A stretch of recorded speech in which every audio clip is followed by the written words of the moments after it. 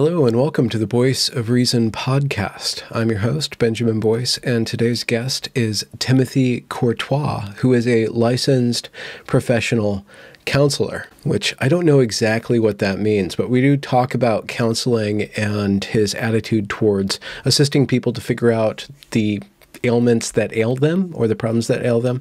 We also talk about a uh, adventure that he had when he sought a certification in sexual health and sexual counseling. He wrote an article in Quillette about that, and we get into that particular adventure of his. And we also talk about just the human condition and trying to pursue a healthy mental life and constellating your values, your emotions, and your thoughts in a nice package that can adapt to the slings and arrows of these difficult times. One of my favorite things to do is to interview psychologists because they are studied conversationalists, if nothing else. And they also think a lot about things that are really important to me, such as meaning and life and being a good person and feeling good while doing so. So, without further ado, here is Timothy Courtois. The problem I have with you licensed professional counselors is that I don't know what the honorific is. How do I? we don't know either. It's it's different in every state and every profession. It's like oh really? But uh, uh you guys aren't doctor. I can't say hey doctor or you can call me doctor if you want to. I am not a doctor. okay, well see that's the thing. Then then you get in trouble. I get in trouble. Yeah, right, right. Well, it's not a particularly honorable profession these days, so maybe we shouldn't have an honorific anyway. Oh, interesting. That's that's a shot across the bows. well, yeah, it is, isn't it? Well, that's that's where we're at. It's been a weird time. Well, Sasha's been working her uh, herself uh, to the max, uh, doing yeah. great work uh, in a in a particular domain. She works with teens. You mm-hmm. work with couples is that correct or families? no no no not couples. Um, i'm kind of all over the map really. Um, i mean i used to for a lot of years i worked for a church that was on a college campus. Um, and so i was working pretty much exclusively with college age or like immediately post college age kids kids you know. Yeah. but uh, uh, now it's kind of all over the map. I do work with a number of teenagers um, kids who are who are com- who have come out as trans, um, okay. but that it really issues all across the map. It's sort of I'm, I'm not super discriminating when people get in touch with me. Um, I'm just open to a wide variety of issues because hmm. kind of everything's human. So, um, is that that seems like the key term because I, I, wanted to kind of frame everything like what does a counselor do and how did you get into that how did you uh, find your way there? Yeah, yeah. So um, the way, well, the way. So I had a, I have a weird path because, uh, you know, I like I said, I was involved in a church for many years, and so the I got involved in a college focused church when I was when I was an undergrad student and then I went on staff for that church after I graduated and then after a number of years it was sort of like my involvement in that church ministry, I just found that the the component of it that I really was best at and enjoyed the most was, you know, listening to and caring for people who were struggling, and and there was a real need for that. Uh, and so after a number of years on staff, I decided I wanted to go pursue some training. So then I, I sought out you know, I, I, went to grad school, became a counselor, and then I went back to work for that church for a few years. Um, and then a lot of things in my life and in the world kind of fell apart uh, a number of years ago, and, and, and I ultimately decided to leave that role and, and branch out a little bit and start my own private practice. Okay. Is your is your life uh, the reason why the world's falling apart? Is this? It's can we blame it on you? I would be glad to take the blame. Uh, yeah, in good Christian fashion. right, right, right. Do we need a fall guy? I, I'd be glad to. Should I just proclaim myself the savior? Is is uh, I'm not sure if that's a good thing or a bad thing. I, am actually pretty certain that's a terrible thing. So. um, I know a lot of people in a adjacent profession to you that deal with people who uh, take on the burden of the world's uh, sins and. Uh, What's that? Well, you know, uh, the stereotypical crazy person who thinks they're Jesus or Satan, you know. So yeah, it seems like well, a very difficult path to take. yeah, to be Jesus or Satan. Yeah, yeah, to take on that uh, that role. Yeah, I mean it's weird because it's it's a thing that there, there's some things about this the social justice world that that are a weird mirror to the Christian world. Um, yeah. You know, in you know, in terms of the moralizing and the the cancel culture, which in some ways Christians kind of pioneered in the 80s and 90s and 2000s. Well, in and, the 1500s. Sure, too. sure. Let's go there too. Yeah, let's broaden the time scope a little bit. Yeah.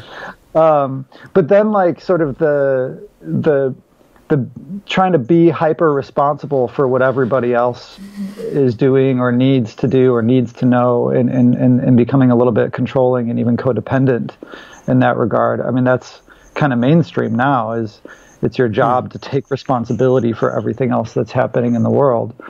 Um, mm-hmm. What, so, what is? Could you define codependency? Uh, yeah, that's that's a great question. I mean, it, the the word gets used in a lot of different ways. Yeah. Um, so especially colloquially, um, the the way I tend to think about it is it originated from Alcoholics Anonymous, and the idea was, you know, when when AA started, they implemented these principles, and they saw these alcoholics who were dependent on alcohol. Um, getting better and what they thought was oh wow when they're getting better then their marriages are going to get better their families are going to get better and what they found was no a lot of times things went downhill they got worse and what they realized was yeah the alcoholic was dependent on alcohol but their spouse was codependent with them oh. so the spouse had uh, arranged their life and their sense of being so much around rescuing or taking care of their their their spouse who was who was an addict. You know, con, you know, sort of living to mitigate the effects of their their addiction. That when that addiction was gone, they no longer had uh, that sense of that sort of anchor to ground themselves in. Their whole sense of identity was thrown off the ailment becomes a major part of the relationship or, or almost yeah. like a child or a third third part or yeah component. i mean it's kind of in some ways it's like it's like a, a parent who is too involved with their child and then the child grows up and doesn't need them to be so involved anymore and then everything goes haywire because the parent doesn't know how to define themselves apart from I am the one who sort of controls this little being who is now not a little being anymore.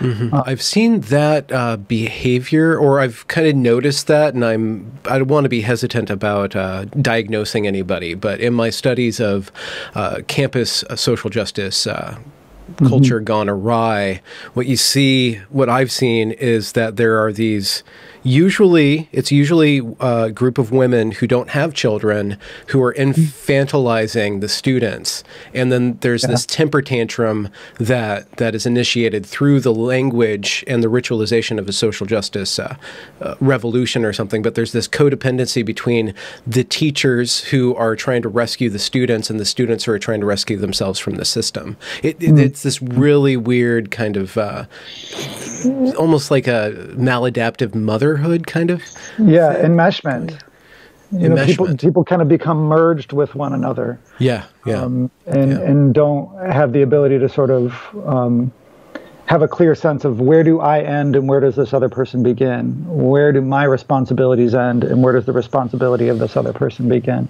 Yeah, yeah I don't want to. Um, I don't want to oversimplify that, and and codependency isn't even a diagnosis. Um, it's not in the DSM, uh, as far as I'm aware. Um, but but it's like in all things, there's usually a spectrum. Like nobody believes we should just say, you know, screw everybody else. I'm going to be responsible for me and not care about anybody else and hopefully nobody believes i mean I, sh- I, shouldn't say nobody some people believe that stuff but then very few people are going to be at the extreme opposite end of the spectrum where they say i must take full responsibility for everybody else but we can lean one side or the other and mm. Different situations probably call for different emphases um, yeah. i think you see this playing out really in the dichotomy of the right and left in our world, where the right's going to more emphasize personal responsibility and the left is going to more emphasize communal responsibility. And yeah, you see it with COVID, where um, you know, I, I mean, I see these posts on social media a lot where people on the left who, in some cases, I might have indication that they they are kind of codependent in their own personal lives, but then they'll sort of make these posts that say, you know, they're angry that other people aren't taking enough responsibility for the whole world and so now i have to bear even more responsibility for the whole world and mm. lock down even more and mask up even more i'm not getting all you know anti-masks or, or yes, yes. or anything I'm, I'm, but but i think people fall into these extremes at times yeah so. yeah there's uh, there's a lot of interesting phenomena that occur on social media, and it, I like how you bring up there. There is a spectrum between total bootstrapping meritocracy and total, uh, co- just complete collectivist thinking, complete uh, yeah. communalism or communism of, of that type. But when we critique social justice, ideology. Just for example, the way that we critique it is by looking at these patterns of behavior that are emerging and then trying to see, well, how is this unhealthy? How, how do these ideas or these tenets lead to this unhealthy behavior? And I guess, do you have, is, is healthiness or health an operative framework for you mm -hmm. in, in your work? Or terms Gosh, like I guess balance question. or like how do you what, what's the what's the good goal or the good oh, man I wish I knew um, it's funny because like we could really have two separate really difficult conversations because one would be what do I think personally and the other is like how do I operate as yes. a therapist um, yeah I, uh, um, and then how do you separate those two or how do they work in conjunction? Are they codependent? Right. Eh, yeah. How do you separate those two? I mean, it, it's hard. I, I, mean, I think the the beginning of any of those conversations has to be, gosh, it's complex, and all of it's yeah. going to fall somewhere along a spectrum, and no answer is going to be absolute. Especially my articulation of it on a random day when I happened to be up for two or three hours in the middle of the night last night with my one year old and oh congratulations. And yeah yeah. And well now today uh, with you i'm overcompensating with caffeine so we'll see how that goes. Well and plus everything that's happening in the world and probably the patients that you had last week and the books you've been reading and and the stuff that you're just trying to process through and practice and uh... yeah it's a lot. Um, but i think i lean towards like I mean, in, in my work anyway, I really emphasize like my work as a therapist is not about me. It's not about what I believe or what I think. It's about like if you are my client, okay, you've come here to me. You have something that's going on that apparently you're troubled by. So, what is it that you're looking for? What is it that you're hoping to overcome? And then we'll talk about that. And mm-hmm. in the process, uh, you know, it's certainly my role to be active in terms of like if I see something that seems troubling or or like it might need to be drawn out a little bit more, I might ask about that or challenge something. But ultimately, I'm letting my clients. Hmm. I'm trying to operate with a very light hand to invite them to discover and think out what they want to do about whatever's going on in their life, and, and hmm. so that really emphasizes personal responsibility yeah. significantly. Yeah, yeah. And why is personal responsibility a good thing? Just to break it down to basics. Yeah, I mean, uh, I mean, I, again, the, so as a therapist, I might say, um, I, am not going to tell you that you have to prioritize personal responsibility, but I'm not going to take responsibility for you because I don't want to. I'm, I'm, I'm, busy screwing up my own life. Uh, okay. I don't, I don't huh. take responsibility for for everything in your life. Those are things that uh, the way things are constructed. Apparently, you have to make those decisions. Okay. Yeah. Uh, you know, personally, uh, I, I I do think while, while I think there is a, a tension between the individual and the communal, um, it does seem like mm, the the sort of the the core thing, the core unit of what really matters in the world is people, uh, individuals who have who have consciousness and and some power of of choice. You know, whether you believe ultimately in free will or not doesn't really matter, but still you're you're on some level choosing. And, mm-hmm. um, so that just seems to be sort of the fact of things. I'm, I'm, and in that regard, I'm I'm certainly influenced by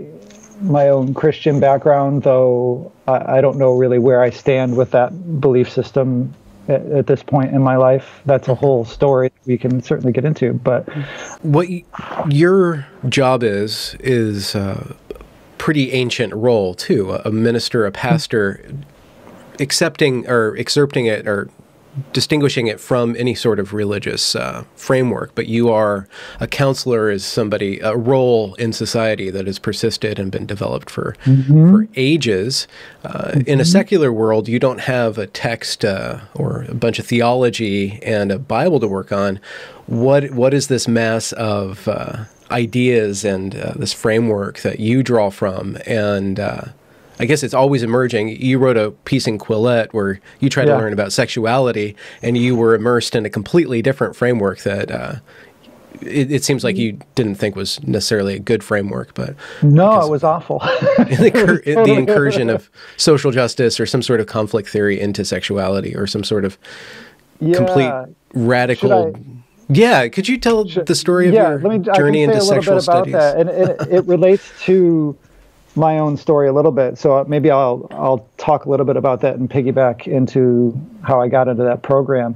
Um, so I had been in the church for a long time, and um, I wouldn't say I was like a Christian counselor in the sense of like, you know, I'd never considered it my role to sort of just quote the Bible at people and say, well, this is what you have to do because this verse says it. So that's the answer to your question. Yeah. I was never that at all. Um, I, I, always considered it my role to be a place, like a, a primarily a listening ear, um, a place where people could sort of wrestle through whatever they're needing to wrestle through. Yeah. Uh, uh, well, not to distract you, but you've brought up listening. I, I th think that's very key. How did you stumble upon that as your role as as a listener? Um, how did you know to do that, or how did you get drawn to doing that? That's a great question. I mean, to some degree, personality. Like I've I've always been naturally very curious, and I mean, gosh, like one of the things my dad always says about me when I was little is like I would sort of in a new situation I'd sort of sit back and watch for a long time and just sort of hold back until I kind of figured things out and then I'd be able to enter into it. And that's definitely true of me in some good ways and even to a fault. So my, I think my default has always been uh, give me the information, help me understand. I want I want to I want to hear more until I really un- think I know what's going on here. And with regard to the world, um, there's just too too damn much to ever really feel like you ever know what the hell's going on. So I could sit back and study forever. You know, if you're familiar with like the Enneagram, like I've been typed as a five, which is like the type that just wants to collect all the information until you've got it all figured out. And, okay, and I, don't, I, don't, hold to that really firmly, but um, I think that's indicative of my personality type. Um, uh, yeah, so I think that just always kind of made sense to me. And then I think when I started getting involved in, in therapy, I mean, I think I, I really was grateful for the training that I got. Um, it's funny. I mean, I went to the University of Michigan as an undergrad, and hated my experience there. Um, that's a whole long story, but but the it's ironic that the, the education I got from a seminary as a as a Christian who was a, becoming a therapist at a Christian school was actually really um, beautifully open and and not dogmatic, um, but really challenged us and invited us to critical thought and and didn't want us to just be indoctrinators uh, you know of our clients. Uh, so it was a really fantastic program. I loved it. Um, that was reformed theological seminary in orlando florida. Okay. um, yeah where was i going? Uh, we were ta- I, I, distracted you from uh, your oh, yeah. practice in, in within the context of the church yeah.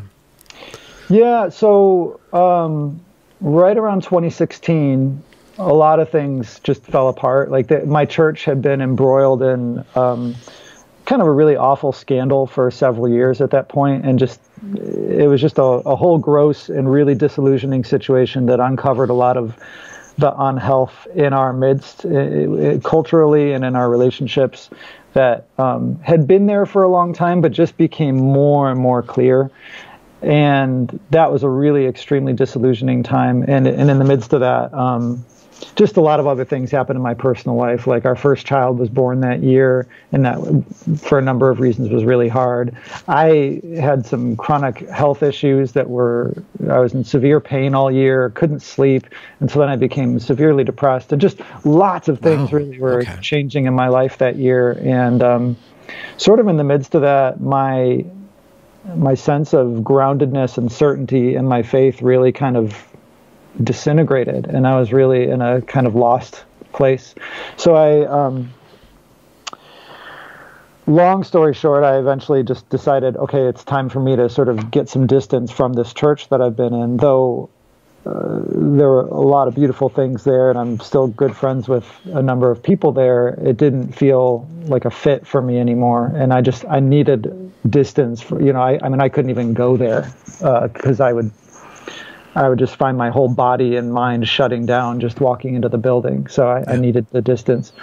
Um, so all that to say, when I started, you know, then I was starting my private practice and I was realizing, gosh, my whole career I've sort of been in this Christian ghetto. You know, we, you know, Christians kind of do that. You know, they kind of say, okay, we're going to listen to the Christians, we're going to listen to the Christian thinkers and read the Christian writers, and everybody yes. else is untrustworthy. And I never really loved that.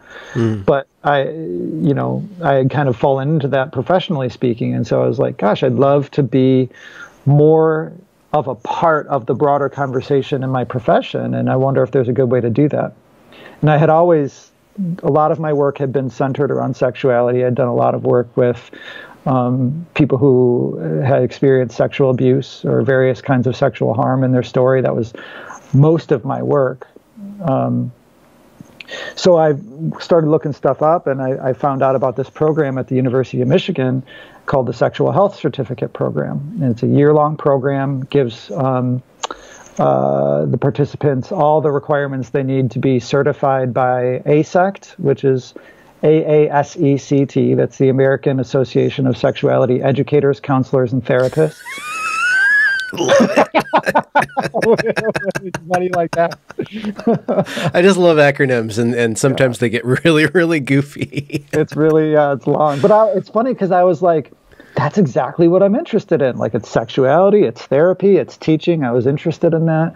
Um, sexuality education. I, I just thought I really care about the broader cultural conversation that we could have about sexuality and what it is. It's this really hmm. core component of human life where we get a sense of meaning and beauty, um, and yet it's like kind of endlessly mysterious, um, hard to really put your finger on. And so I just thought, man, I'm really interested in this. And I thought I found this little niche, this group of therapists who are really passionate about this. This would be the perfect place for me. Um, and especially since I kind of pulled back from what had been my tribe for a long time out and was looking to get connected to my profession in a broader way, I thought this would be perfect. So that was um, the, the cohort I signed up for was the 2019-2020 cohort. So I basically oh. began mid 2019 and finished the program mid 2020. Um, and this is got, where things get weird. yeah, they got really, especially because of my experience in the church, and you know, so I had kind of, uh, you know, developed a, a, let's say, an allergic reaction internally to things that could feel cult-like because of some of the crappiness I had seen in in the church I had been in previously. So when I got into the program and just everything felt so familiar I mean, it, it, it was weird because it was all sort of framed in this um, superioristic, you know, we're better than everybody else. We're especially better than okay. anybody who's conservative or religious.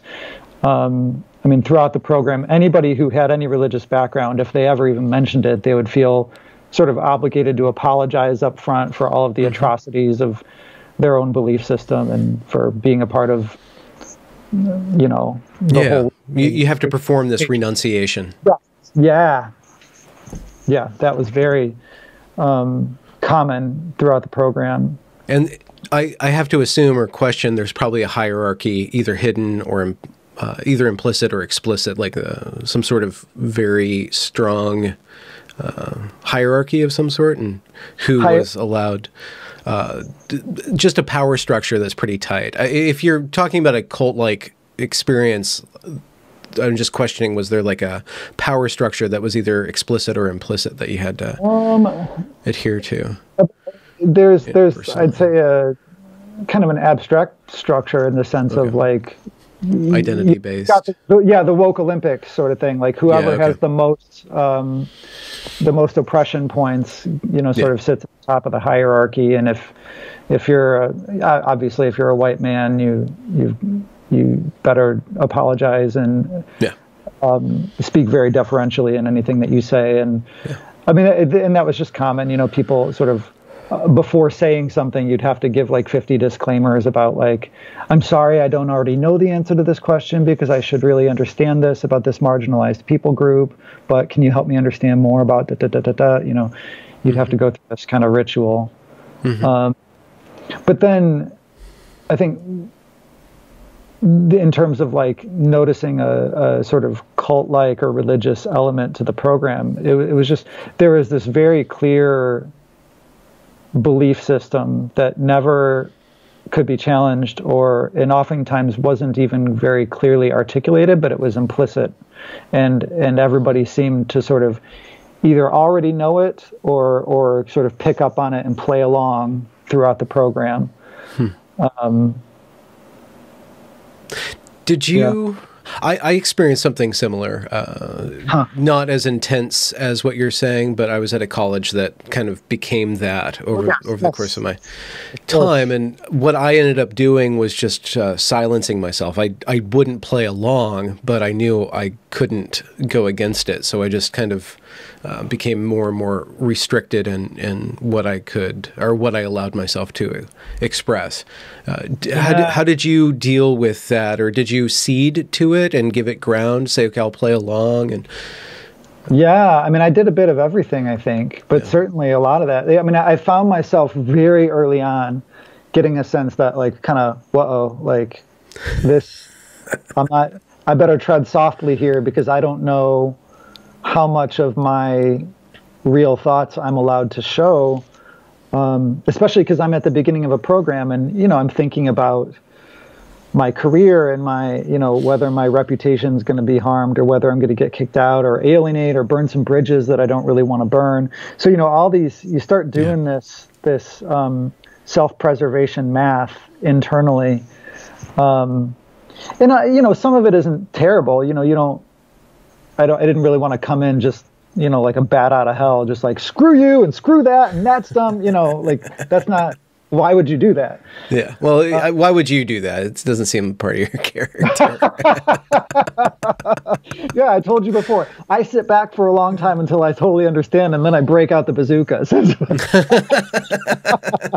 yeah, write an article on Quillette. Yeah. So, um, which I mean, it's funny. I mean, I say that kind of humorously, but there, there, there may be an element of truth to that. I mean, I, I, I did speak up during the program. But throughout the program, there was a very clear us versus them. So there was like a, they, they often use the language of we. We believe this. We want this. We have certain policy agendas that we want to accomplish. We, as therapists and sexuality educators, know that this, this, and this, and this is what needs to happen in society. And it's our job uh, to take on an activistic role to shape policy and, and all this kind of stuff. Um, stuff that I uh, I think is totally outside the realm of well therapy. Mm. Um, so one of the classes, you know, there was a moment where the professor was saying, you know, in this work we have enemies who will oppose us, and it's important that we know the kind of arguments they're going to bring and the kind of attacks they're going to bring against us, and so we should be aware of that. We should edu- educate our- ourselves about that. So let's spend some time on that. And the way that that teacher facilitated that was by showing an episode of John Oliver, who is like a comedian. You know, he kind of he mocks people, which I'm I'm not against John Oliver. It's funny, but it's not. It, you know, if you're trying to make a good faith attempt to understand the arguments of people who disagree with you, you know, uh, playing a 20 minute video mocking people of a certain belief system doesn't really do the trick. So that was, so we, we watched that episode in class and then that unleashed, you know, sort of a follow up discussion, which was really just people in class angrily venting their contempt for anyone who's conservative or religious in any way. Uh, was, was this about uh, homosexuality? Was this about? Well, no, this was about the, the specific context of that one class was we were talking about sex education, okay. and so it's sort of this ongoing question of like, what do you talk about in public schools? How much do you teach? You know, and on the extremes, it's you know, well, you should expose kids to absolutely everything at the earliest age possible, which is kind of where this program pushed really hard.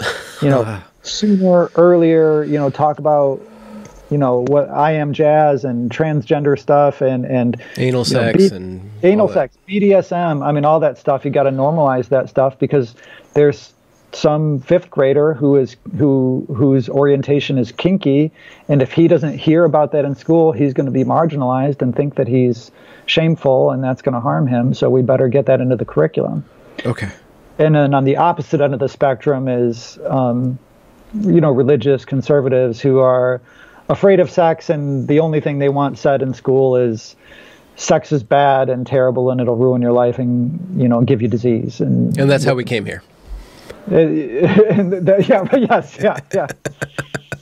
um, so it was just it set up a, a very extreme straw man picture of of what you know they believe.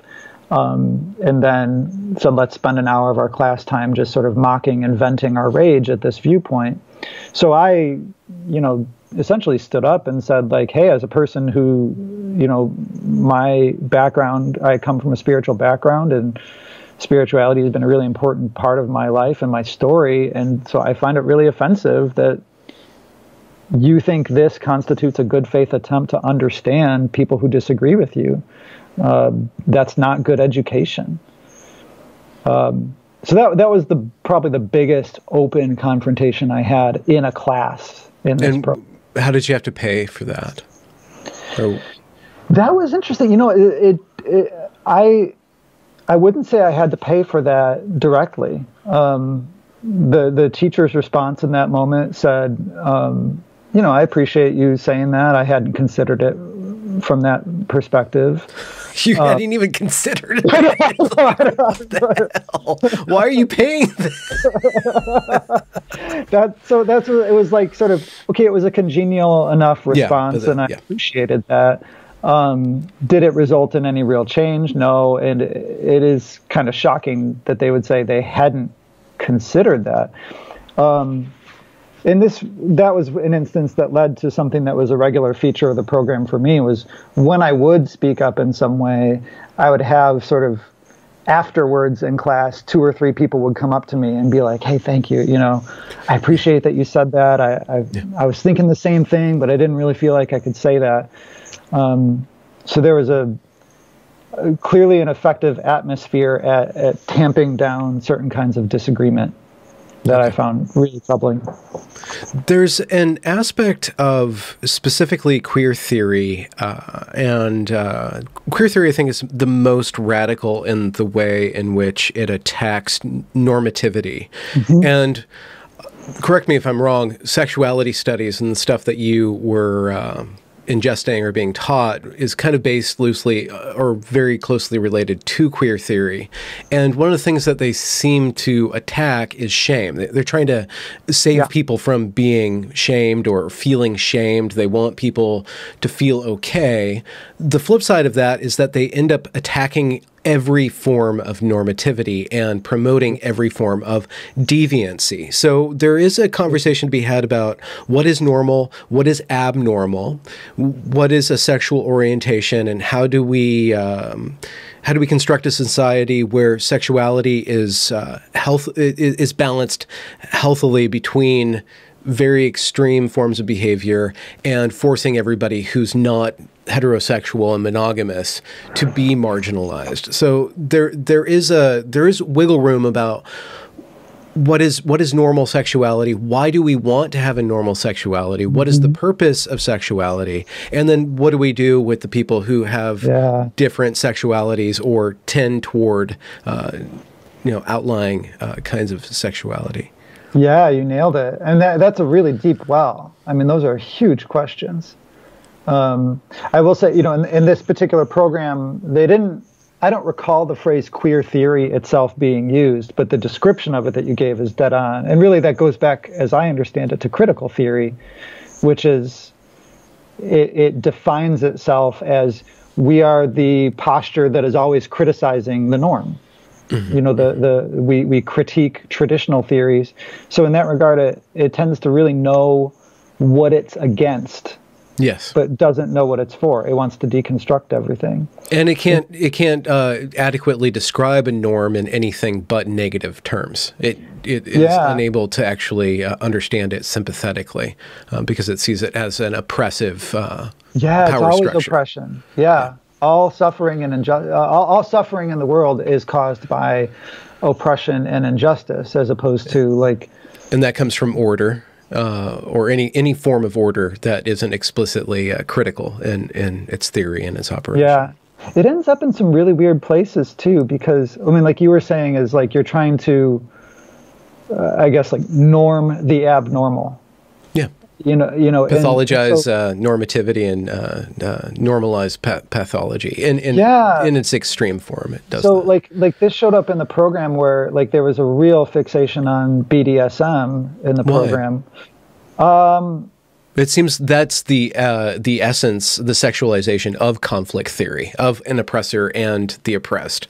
It, Isn't like, it's weird? The, it's it's like a strange kind of like fetish. like like like power is this huge fixation of critical theory. Power is bad. People are using their power to oppress and and then here's this like manifestation of like I mean, gosh, like yeah, like a, a Freudian or Jungian analyst would would be would kind of have a field day with, like, but you're all about power. You're kind of obsessed with power and overturning power, and to, you know, I don't want to straw man that either. Like, there's something to be said for like power is a factor of all of our relationships, and we're always sort of playing with power to a degree. You know, even in a dialogue like this, mm-hmm. you and I are kind of feeling out. Okay, like how active is he going to be? How active is, am I going to be? When do I yeah. sit back and listen versus when do I put myself out there? Um, that's just part of relationships. You can't avoid that. The thing mm-hmm. that I thought was striking was like particularly with BDSM, there tends to be a desire for, like, sort of to revel in the the darkness of it. Like, I'm enjoying, you know, if I'm if I'm in that realm, there's sort of a tendency to, um, I want to be and do and say the shocking things and sort of show the darkness of it. But then, if you treat me as dark or strange or odd, then I'm offended and I, I, thought, well, and I'm not saying that's true of all people who are into BDSM, but that is was sort of the ethos of the program. I found. Um, well, that, that's a tactic of uh, power. To, to disallow other people to judge you at all, to always be have the upper hand, even to cry bully, uh, to to play the victim. Yeah, uh, it's yeah, as long as you're gaining power and overturning the system, then it's justified or consistent. Yeah, and it's it's but it's kind of a, a judo kind of power. It's it's not overt power. It's a it's a manipulative like yeah. by by by playing the victim, I will claim power. And again, that's very consistent with the theory as I understand it. Yeah.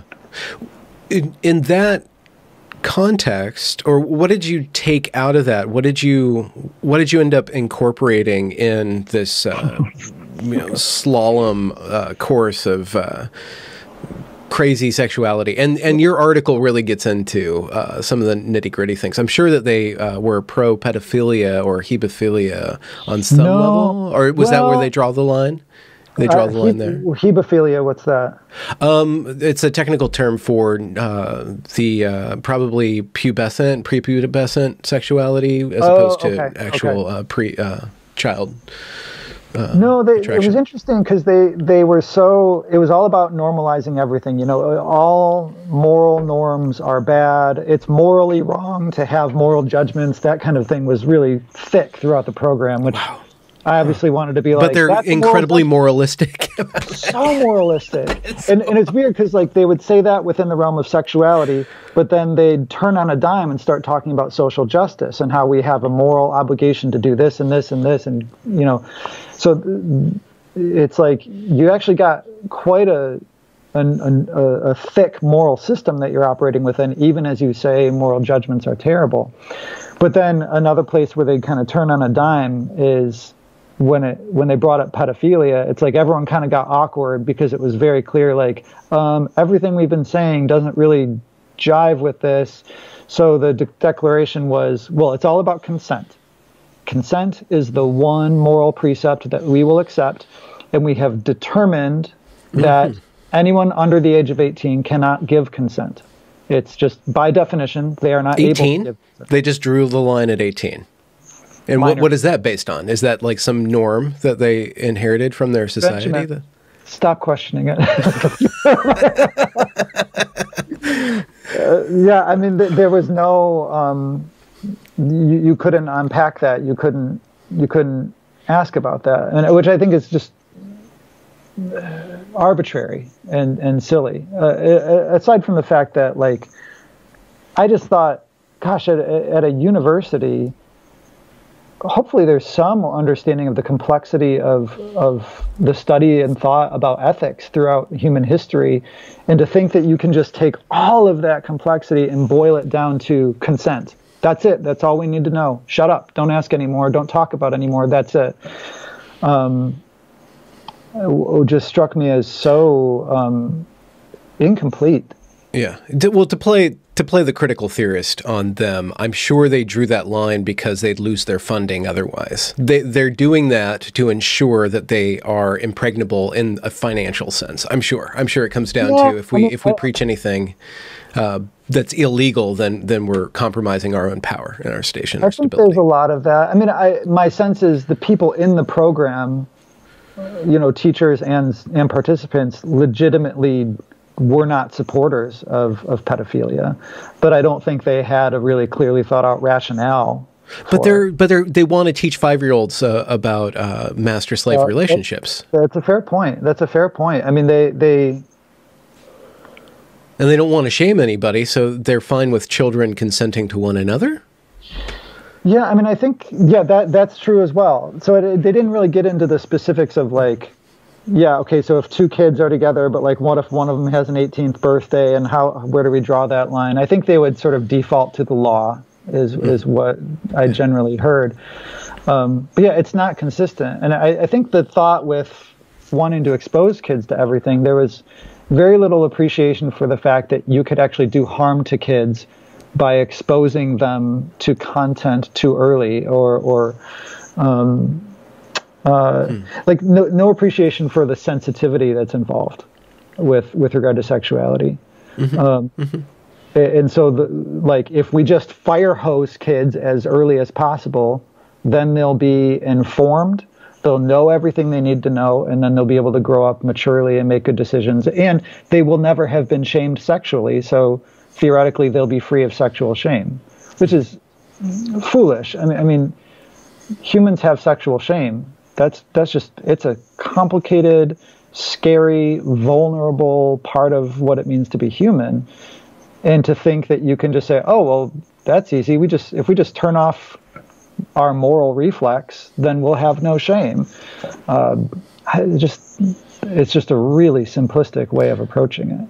Well, not to bring up the Bible, but one of the foundational myths is dare. about sexual shame. Like the yeah. first thing that happens in the story is that two people get along when they're not supposed to, and all of a sudden they're uh, ashamed about that. And you, you, can interpret the the Genesis myth in a variety of ways, but right on but, one level, I mean, there's that shame. Of, that's part of the brilliance of that is that you know their initial um, failing adam uh, the initial failing of adam and eve in that story was not in itself a sexual failing but the response to it was that they covered up specifically their genitals you know that they became afraid and embarrassed about the part of them that was most vulnerable most mm. sensitive and most distinctive um, mm.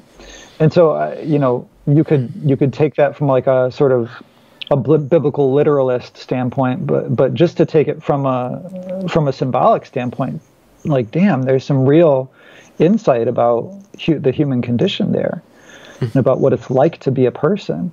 Mm-hmm. Um, but the, this the critical theoretical view that sort of suggests all all the problems that we experience as humans are the result of oppression. And so if you just get rid of the oppression, you get rid of the moralizing, you get rid of the shaming, then we'll all just be free and we won't have any problems. And we're going to um, moralize and shame until this is uh, taken taken effect. yeah, surely there will be no side effects to that sort of plan. Um, it, it was interesting because, like, somewhere I can't remember if it was you know something a teacher said in the program or something they wrote you know one of the articles that i read from them but um, it's this idea that like eliminating moralizing allows us to be curious and interested in the meaning behind certain acts. So, like if you if you um, destigmatize BDSM, then you can actually be interested in the meaning of it. And I just thought, why the hell is that? Like everything, everything has healthy components and unhealthy components, and we're okay. sort of operating in that inextricable complexity at all times. Yes. You know, like I mean, so uh, um, a married couple having the most sort of quote unquote vanilla sex that you could possibly have. Well, if you could like open up their brains and see everything that's going on inside, there's there's going to be some dark shit in there. Am I allowed to hmm. say that? can I? Can I yeah, totally. I, I don't know if I don't know if I can swear. Just the, not in the first two minutes. That's the that's the only. okay. Um, you know, just that's that's unavoidable. Again, it's part of being human. So the, the the idea that we can only be curious or interested in or learn from things if we first completely destigmatize them, I just think that's that's foolish. It's it it it seems to be a uh, corrupted form of scientific objectivity. Uh, I understand if you want to study a phenomena, you don't want to judge it during the study yeah. you, that doesn't mean you you take judgment out of that if that's a component of it. So it, it's just it's a failure to recognize that standing mm-hmm. apart from something and understanding it, uh, especially let's just say in a counseling uh, session, like you don't want to judge anybody. You want mm-hmm. them to be able to adequately discriminate uh, their own behavior and and understand it in in a framework where they can uh, have uh, some sort of volitional engagement with whether something's good for them or bad for them. But your job yeah. is not to do that. You you suspend judgment uh, to a certain degree, but when it's time to activate that uh, or to empower that uh, because we need some sort of moral foundation in order to understand when certain choices lead to uh, poor outcomes. Like the, the whole mm-hmm. shame, the whole consciousness, conscience thing is to uh, uh, allow us to live the best life possible in the right context. And, and uh, assisting somebody in building their own morality is different than you judging them. So I understand. Yeah if that makes sense. Yeah, yeah, it's that like we, we kind of have to ride the fence somehow where we can step into that objectivity, but also re-enter the realm of, of, of subjective judgments. And subjective doesn't mean wrong or stupid. It, it, just means it's it's a different posture that that you bring when you're in that place. Um, and so you got to kind of be able to step into both realms a little bit and and just acknowledge when you're doing so, and and I think have some yeah uh, humility about about both of them. Hmm. I, I mean, it's interesting that you said that that like perhaps this posture that they're bringing towards morality comes from a sort of scientific, hyper objective approach because at the same time the program was there, there was a lot of lip service in that program to science and hmm. being scientific um, That's a little surprising to me. I, I, would have figured they attack uh, scientists and. Well, it was lip service. The colonialism. I mean, okay, yeah. Yeah, I mean, there's, man, it's complicated. Um, I think the title that. This, that's, that's the episode title. yeah, I mean, well, we're talking about sexuality too. I mean, really everything, humanity, dang, we're we're complicated. There, there was definitely lip service in certain aspects. So, like, um, when it comes to talking about sexuality education, they would sort of talk a lot about. Um, you know, X number of states require sexuality education to happen in public schools, but only this much smaller number of states requires that education to be scientifically and medically accurate. Hmm. Um, and so then the whole room was supposed to gasp in horror that like, oh my God, they don't even require it to be scientifically accurate. And it's like, yeah. well, yeah, like, so those states didn't, you know, explicitly write in their okay. legislation, yeah. But like that doesn't mean that they're like saying, hey, everybody, please have scientifically inaccurate sexuality education. Yeah, yeah, yeah. Um, you know, but on the heels of that, they, you know, they'd have, they really got into this with with the issue of gender, you know, because yeah, science is gonna... out the window when you're talking about that. You know, suddenly, you know, gender identity has this purely subjective uh, uh, definition, and boy and girl is not a scientific category. Male and female are not scientific categories. Um, but even that, they go back and forth, you know, because you know, we'd have some classes in this program that were more focused on biology or medical stuff, you know, so they'd put the the slide up on the screen that says, you know, like male anatomy, and it's like, hello, male uh, male assigned anatomy or yeah. male identified anatomy. Yeah. Well, and it was funny too because I wanted to like like in some classes where they would try to remove that language, I I, I would kind of think, can I raise my hand and say, hey, do we have a term for people who are born with a vagina? Yeah. Uh, Menstruators. If, only there were a scientific term that existed in the world. Um, so they, they go back and forth, and then there, you know, there was. I, you know, I would ask questions at different times to try to get clarity about some of the beliefs that were being put forth in this program. And one of them was when they when we're talking about um, where does sexual orientation and gender identity come from, and, and are these things fixed at birth? Are they inborn and innate and unchangeable, or are they malleable? Are they impacted by your story and your experiences and your culture? and you know they kind of play both sides of the fence depending on what the I guess the politically correct right answer was in a given moment. So I just asked the question directly at one point, and the professor said um, his answer was really shocking to me. I was so dumbstruck that I didn't even know what to say. But he said um, uh, that activists have really doubled down historically on the idea that all of these things are fixed at birth and unchangeable because that allowed us to get some policy goals accomplished. But now that we've made so much progress in terms of policy, yeah. we're, we're able to back off of that a little bit and admit that no, these things are kind of fluid and many people experience them as fluid. Mm-hmm. And I was like, did, so you just, so you just said, we as activists I mean, he didn't say we, but like yeah. this program that clearly aligns itself with progressives and with activists. You know, we as activists distort the science in order to accomplish certain policy policy objectives, and once those objectives are met, we're able to speak differently about the science. Yeah, and that was as far as that conversation went. We never yeah. we got deeper into it.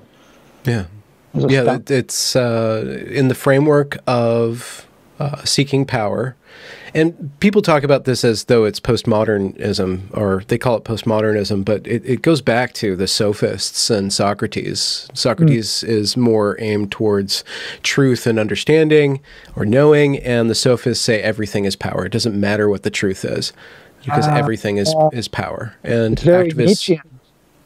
Uh, well, yeah, and Nietzsche kind of brings that up again, in a way. And it, it really felt that way, where like it's um, there there is nothing except the will to power. Everything is just power and oppression.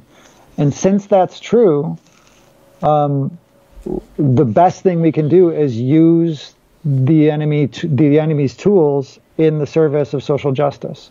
Yes. Um, I, we will use power to manipulate and control. We will violate law or ethics or science in order to accomplish our policy objectives. And really, I mean, the thing that specifically about the program that was most troubling to me, I mean, it, it was really, it really killed a lot of my respect for my own profession because I saw how deep this stuff has worked its way into it. But even more troubling than that to me was how thoroughly this has worked its way into public education of children, because you know only a few people are therapists, and and a minor, you know a small number of people relatively go to therapists, but most people go through public education, and and if you're actively seeking to indoctrinate them as little kids and turn them into activists from kindergarten, gosh, that's really scary to me. And um, I mean that's motivated me to um, get involved even in my local school district level just to find out like what's what's happening there. And and I mean I didn't have to dig deep at all before I saw yep it's there it's mm-hmm. there it's people who say you know like will say flat out um, you know you're never going to please all the parents in the district so it's my so I prefer just to think about what's best for the kids which to me just feels like coded language for I get to decide what I think is best for the kids. I don't have to honor their parents. It's not my role in the school district to um, provide education that will serve the families in our district. It's my role to give those kids the information that I think they need, even if their parents want to deny them that information. Mm-hmm. Um, so that, that's and if you if you look into what that information is, uh, it's revolutionary uh, in its uh, core and in its outcome. Uh, it very yeah. explicitly wants to disrupt and dismantle. If you look at the language, if you follow that rabbit hole, yeah, absolutely. DEI. Yeah, yeah. that that's all in diversity, equity, and inclusion. And um, you know whether so whether it's all that abstract stuff like the bigger picture ideas like DEI, um, or it's the very specific stuff like I am jazz. Which are you familiar with? That Jazz uh, Jennings is a yeah. publicized uh, transgender uh, male to female uh, person. Yeah, in the book, basically for kids, teaches you know it's sort of I it's sort of jazz telling her story, saying um, you know essentially I was born a boy, but I like music and dancing, and that means I have a girl brain and a boy body, which mm. is not only horribly stereotypical and like mm. foolish, but also completely unscientific. Like the idea, you know, if you, I don't, I don't want my children being taught in elementary school that they might have a girl brain and a boy's body, mm-hmm. not because I'm transphobic, but no, because, because, it's very expensive to uh, provide them with that particular pony if you go all the way down, if you take it to its conclusion. Maybe you could, yeah, yeah. Right. this is a fiscal. This is this isn't a moral issue with you. It's a fiscal issue. Yeah, it's purely financial. That's just you. If if you, as long as you're willing to fund my daughter's transition, you can go ahead and indoctrinate her however you want. no, I'm just kidding about that. No. Um, so this is this is something I had a. I won't get into my own personal stuff right now. But I had a very strong dream this morning that kind of laid out my path, uh, rather explicitly, but it doesn't matter but one of the parts of things that I, I, need to figure out how to do is to show how this stuff scales. And one of the ways in which we do that is by examining the language, examining how it causes people to believe or uh, what they believe and how they behave, and then how it operates on levels scaling from the individual all the way up into a nation and all the different uh, iterations. And I think that uh, what I loosely think of as social justice, uh, intersectional, postmodern, blah blah blah blah blah. Uh, it, it you can look at it operating in all these different tiers. Uh, and you, as a counselor, interact with the individual and you foster relationships and you, you uh, counsel them through their personal choices, their, their relationship to their past and to their future and to their present. So, my question is um, how does what you have been exposed to, specifically in the sexuality uh, program that you took, but also this kind of loosely termed critical theory uh, stuff, why do you think that that, or how do you think that that impacts the individual's uh, psychological health? Okay, yeah, yeah. Um, spitballing here. Um, I think it creates a lot of guilt and anxiety, a tremendous amount of guilt and anxiety. I mean, because there's a sense where, I mean, okay, like take the situation we're all in now with the pandemic. Like, I feel like for the last year, anytime I talk to somebody and they say, uh, you know, I'm doing pretty well, it's followed up by like, I feel bad for doing well because everybody's having such a hard time right now. Or if they okay. say, I'm doing poorly, I'm really stressed out, I'm struggling, they might say, Well, I feel bad because I know so many people have it so much worse than me. There's this constant need to um, uh, put yourself down and, and bring yourself down to the level of suffering of all of all the others around you, and to feel guilt for any amount of goodness that you have. Um, so, can you spitball uh, yeah, yeah. how compassion is properly managed and how it's improperly managed? It's okay to have a little bit of guilt about the poor, right? As a, um, growing up Christian, you know, you, you want to feel uh, feel their pain, I guess, but you don't want to feel bad for them. Yeah, I, I mean, how I do think, you? I think compassion versus guilt. Um, I think gratitude is really a proper category there. You know, okay. to say like, I've got something good. I'm really grateful. And I still care about other people who don't have that good thing. I'm not just going to ignore them or, or, or um, shut it out of, my, out of my brain, but I'm grateful. I, I think it really disallows gratitude. The, okay. This, this, this thinking disallows gratitude. Um, so, are you uh, feeling particularly grateful for being a white male uh, today? um, I mean, sure. I mean, I, I, in in some ways, I mean, I, I uh, it's weird because I don't want to. Um, a lot of this language has become so tainted. So, like to talk mm. about privilege or or white privilege or white supremacy or all this stuff, like these are, you know, in themselves, they can be coherent concepts that I can talk about and go, yeah, like uh, there is definitely privileges and good things that I have that I don't deserve. Many of them that I did not earn. Um, uh, and my gosh, that's amazing. And I know the chances of me having those things if I wasn't white um, are, in this country, yeah. Yeah, yeah, significantly less. So it's like, okay, yeah, we can talk about that. Um, and so this and this is part of the work is to uh, the work is to distinguish between the coherence and the benefit of these concepts and, and of themselves, but how they are deployed to produce bad behavior, to produce uh, uh, yeah. not bad behavior, even just uh, bad feelings, and and just uh, to bring people mm-hmm. down, to, to kind of yes. corrupt the the the human uh, nervous system and their the, our compassion and our empathy. Yeah, it becomes kind of it's about bringing things down. So critical theory is about deconstructing, and it's it's about um, it can become about hatred for success and hatred for um, uh, those who are doing well, rather than genuinely about compassionate compassion for the poor. You know, it's like hmm.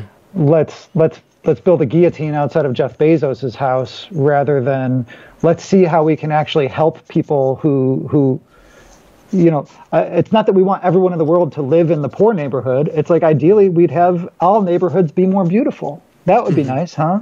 Mm-hmm. Um, but it but it tends to be focused on the againstness. You know, I'm against goodness. I'm against people who have stuff. I'm against money. Rather I'm against than, the norm. Uh, I'm against yeah. morality. Yeah. Hypothetically, if you were dealing with somebody who has a lot of anxiety, or not dealing with, but mm-hmm. counseling somebody who has a lot of anxiety, has a lot of guilt, and uh, and and you kind of let them talk and you watch them unravel that or unfurl that or unpack that, and it comes mm-hmm. down to these uh, social justice beliefs uh, that they hold really strongly too. How would you go about counseling them towards putting those ideas and these concepts mm-hmm. in a better uh, order that relieves their yeah. anxiety, that frees them from that guilt and, and that going around moralizing, sermonizing, uh, being very uh, hyper uh, moralistic, but at the same time very against morality because it, it causes all the shame that they're experiencing. Mm-hmm, mm-hmm. Yeah, I mean that, that's a that's a hard question, especially when yeah. it's one thing to work with somebody who's dealing with anxiety. It's another to deal with somebody who is really, really um, absorbed in this ideology. Um, yeah. Obviously, you can't like attack it head on. Um, but I think, I mean, I think there can be one-on-one room for a conversation about like, you know, can you be grateful for that? Part of like one principle of fu- healthy functioning in my mind is you can be in close proximity with another person and say, This is me, this is you, and I can be close to you and still be different from you and be okay with that. So, with when people are able to tolerate that well, I can say, Well, yeah, I mean, I think what you just said is wrong um, but you know we can talk about that and you're allowed to disagree with me. But i'm always also it's it's part of my role to feel out how much they can tolerate that. There are some clients who will either just be overwhelmed and offended by that and they won't be able to carry on the conversation or they come to therapy looking for someone who will give them answers so they don't have to take responsibility for their life. And if i volunteer my opinion too strongly they'll kind of be like, oh, okay, okay. Yeah, yeah, yeah. And then you become uh, uh, your your counselor role becomes a shepherding role, becomes a leadership role, which is not yeah. something that you necessarily want to do or didn't sign yeah, up for. Yeah, that's what I mean. That's one of those things I have, like I said, an allergic reaction to. Particularly, like, given my experience of having been in a college church where you know, 18 to 22 year olds are quite young, and then you've got the staff and pastors of the church who are able to just sort of give them these packaged answers. And that can be really toxic. So, as I became older in that church and I saw some of these dynamics more clearly, I was very glad to be in a position of a therapist where I could um, say to people really clearly, hey, that's not my role. Like, okay. I don't want to be responsible for what your belief system is. You got to sort that out. Okay. Yeah. Why you bring up the negative word toxic of uh, uh, there's a technical term that's not coming to mind, but mm. taking a set of answers or a set of predefined terms and instilling it into somebody else uh, mm-hmm. through a religious context, through a teaching context.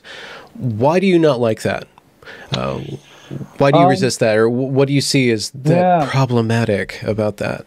Yeah, well, there's this. I'm not sure what the term you were looking for is, but one term that comes to my mind, aside from indoctrination, is um, introjection. Hmm. Uh, is that, yeah. Like so, one. so like this is from um, Fritz Perls. He's the founder of Gestalt therapy back okay. in the 70s or Is 60s. this where you take the turkey and the uh, the injector and you just kind of like put all the juices into it before the cook? you could do it that way. I mean his his language was that an introject is like an undigested belief or idea that you just took oh. on from somebody else. So like uh, okay. a great example of this would be um, Uh, a, a kid who is about to cross the street and sort of whispers to himself in his mother's voice, "Don't cross the street." You know, he hasn't fully integrated that idea into himself. He has an inner picture of his mother telling him, "I'm not supposed to cross the street." But it's not fully digested, not fully integrated. And that's that's a that's not bad, but it's it's immature. you know, a more mature functioning adult is able to say, okay, I remember this is what I learned. I can sort of understand the complexities of it, and I know why I'm deciding to cross the street or not cross the street at a given time because I've I've digested this. So the, the image is of like an, an undigested piece of food just sitting there in your stomach that you haven't really integrated into your body yet. Hmm. So I if I indoctrinate people or if I just tell them what to do, um, they might do the right thing, but they're kind of functioning in this sort of automatonish way. They're sort of living out what I told them, but they're not. They're not doing it as a fully functioning human. They're just going. It's it's rote. Um, this is. I, I think you you you're highlighting something that is probably one of the underpinnings of why I am a free speech advocate or I am very against language codes because it infantilizes the population by saying that this is stuff that you just can't say. So people never digest that or they, they're never allowed to understand why. It, it's taking the agency away from the individual. It's treating everybody like a child. And then it allows the government to very slowly insert itself as some sort of authority figure over people that, that I am the father and you are my children kind of relationship. And I, you know, being an American, probably other uh, personality defects of mine, I'm very resistant to that. But it, it's partly because it, it, doesn't allow me to have responsibility and to really understand why I don't want to say those mm-hmm, things. Mm-hmm. And uh, the the identity politics component really plays into that because. Um, it, the, with what you just said, the goal is to really think things through and process them and digest them so that you can understand them in a first-hand way. But if we're talking about identity politics, well, I have to believe from the outset that I better not try to process the experience of that other person because I fundamentally am inherently unable to understand it. If I, as a white person, try to understand what a black person is going through, uh, uh, um, I'm not sure what the word is, but that's that's that's wrong. That's bad because I can't. It's appropriation. It's colonization. Yeah. There's a bunch yeah. of different terms for that. But so I, I, think it actually disallows genuine empathy because real empathy is about deeply putting yourselves in the shoes of other people. But mm-hmm. the the core belief here is you can't do that. So you can do it with gender, though. Um, if if you're non-binary, I mean, but I, but I think a lot of people like you're not allowed to judge the experience of a trans person who claims to be, you know, something other than their birth sex because you don't understand what they're going through. So mm-hmm. just take take it on authority that they are what they say they are and you're not allowed to dissect that at all. You're not allowed to to assess it um, or really even think deep about it. You just have to accept that what they're saying is true. Mm-hmm. Mm-hmm. I think that that uh, attitude is in a multiple. Uh, it's it's in multiple different areas, and it's called uh, standpoint epistemology. That's a technical mm. term where you can only, okay. and and it has some caveats. The uh, let's just say the black person understands the white person, but the white person can't understand the black person uh, because the uh, the slave, let's say, and and I'm not calling black people slaves, but this is where the thoughts come from. The slave understands the master because it's uh, the slave serves the master, but the master yeah. doesn't understand the servant because the servant is taking all this responsibility that the master is offloading to to them. There's this mm. there's these weird kind of functional caveats in that, but it does ultimately it does break down empathy. It breaks down firsthand yeah. experience. It breaks down the competency or the uh, yeah. the learning of how to interact with people who do have a different experience because you're you're just not allowed. And then you have to accept on authority uh, all these other claims that any given person makes. Yeah, yeah, and I would challenge that right out the gate. Like even the idea that I mean, there, there might be an argument to be made that, say, the slave has better understanding of the master than the master does of the slave. There might be something there, but that can be taken to a really, um, I think, foolish place or shallow place where, like, I, I saw this some during the Me Too movement, which, as a therapist working with sexual hmm. abuse for so many years, like, at first I was like, oh, wow, this is really cool. This is like a a revolutionary shift in our culture's awareness of sexual harm and how pervasive it really is. And then just saw it, you know, get taken to some extremes, you know, to like the kind of believe all women and and even you know got into you know I'm remembering one specific social media argument where the this person was claiming that the victim and the victim alone knows what really happened. And so their story always is 100% true, and anyone who contradicts it in any way is wrong. And it's like, sorry, that's just false. Like, first of all, you don't know what was really happening in your perpetrator. You don't know what that was really about. There's just no way you could. But second of all, like, the victim can be can have a distorted understanding of their own experience. That's a really hard truth to say, but but that is reality. Yeah.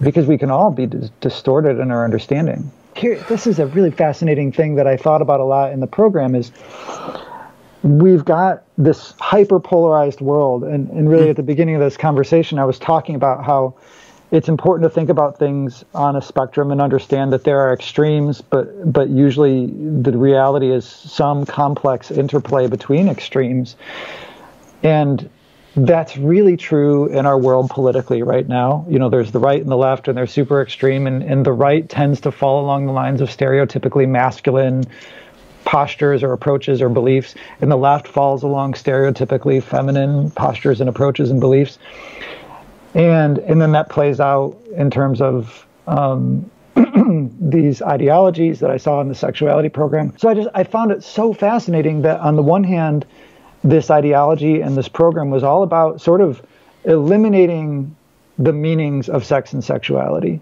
So masculinity and femininity, it's all purely a social construct. It's meaningless. Let's not even pay attention to that. It's just pure subjectivity, and you get to be whatever you want say you are. But all the while, the whole thing was embodying this polarized tension between masculine and feminine. And they're just living out one side of it, saying the feminine side of the spectrum is all good. They're not using those words, but that's what they're embodying. And the masculine side is all bad.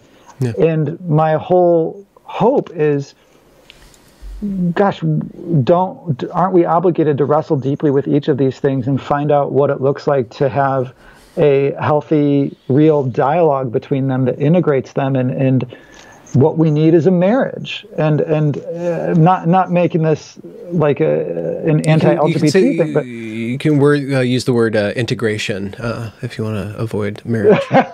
But I, it's interesting because I don't want to avoid it you know? Like I hmm. It really is to some degree we we need to rediscover the capacity to have a harmonious marriage between different things to some degree, and specifically a heterosexual marriage, not in the sense of disallowing gay marriage in a literal sense, but in the sense that hetero meaning different. You know, so like we need to figure out how can different things function together in a productive. Uh, yeah, yeah, yeah, yeah. So I, I just I, I, was struck by the irony of how much that was being embodied accidentally by this program that also was trying to destroy the very idea of of binaries. Yeah, yeah.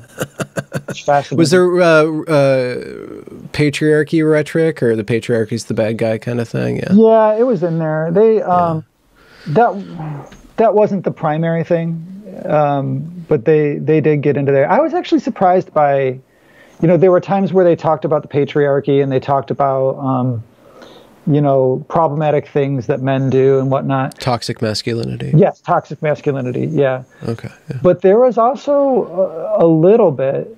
I'm thinking of one class in particular where they actually talked about okay, and what are ways that we can look compassionately through the eyes of men.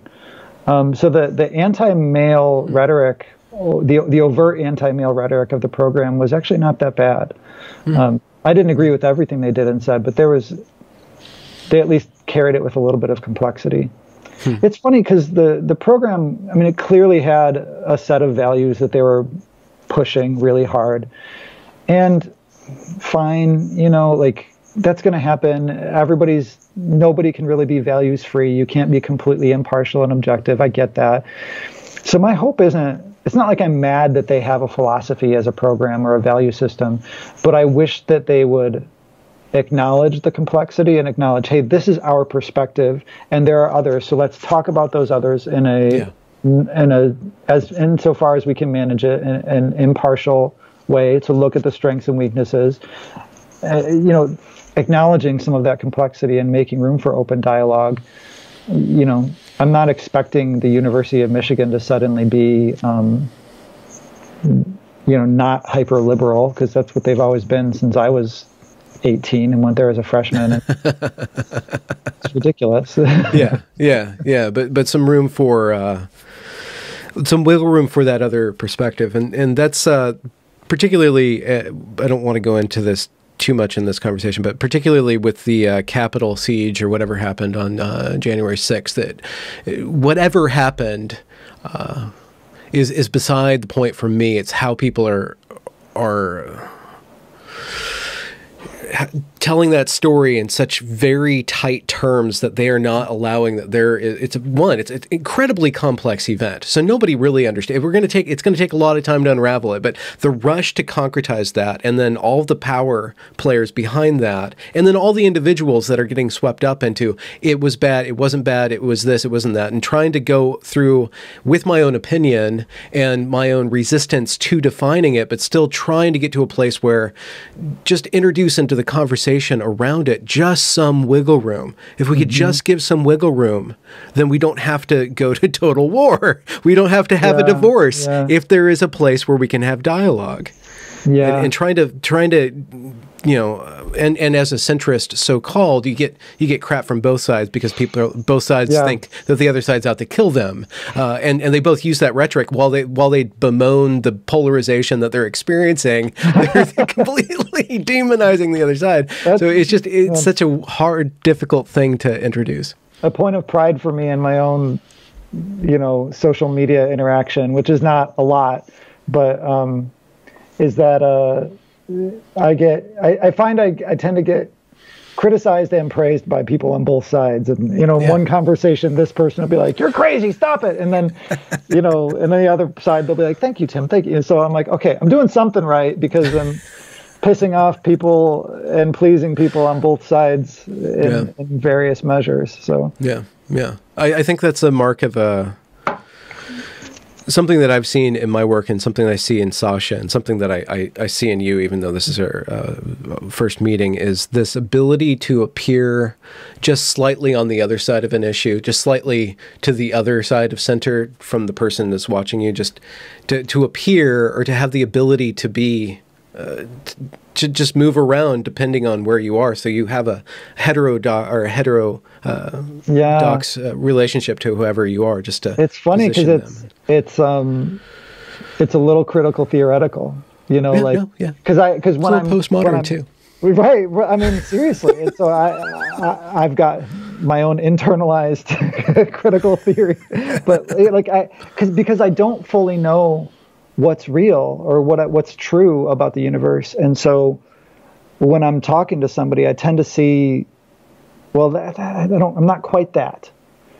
And so then that can lead to being a little bit of a contrarian, and mm-hmm. it's a it's a problem because like uh, the the Martin Luther King quote comes back to me again and again, where he talks about um, darkness cannot drive out darkness, only light can do that. Hate cannot drive out hate, only love can do that so what I would add to that is like it's easy to know what you're against. It's easy to be against things. It's easy to blow shit up. It's easy to tear things down. It's really hard to build stuff that then will be subject to critique.